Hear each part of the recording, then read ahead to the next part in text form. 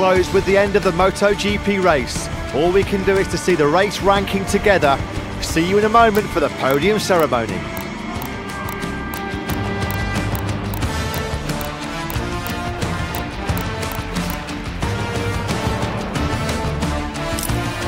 Here we are from Parc Ferme. The cameras are showing the third place rider.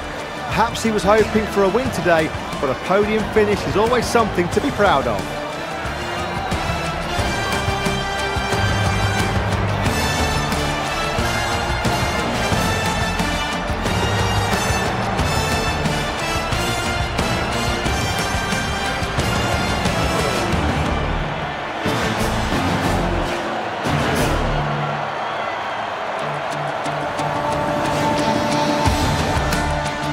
Team members of the top three riders are gathering under the podium. After today's great show, they can finally let off steam and celebrate.